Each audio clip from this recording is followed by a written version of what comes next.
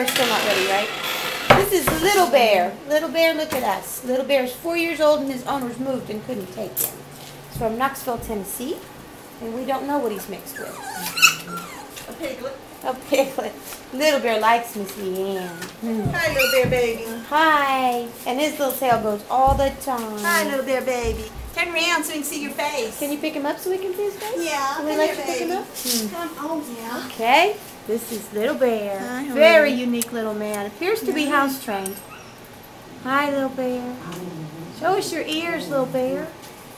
Sit there, They're fly away. Okay, I can fly. Mm-hmm. Yeah.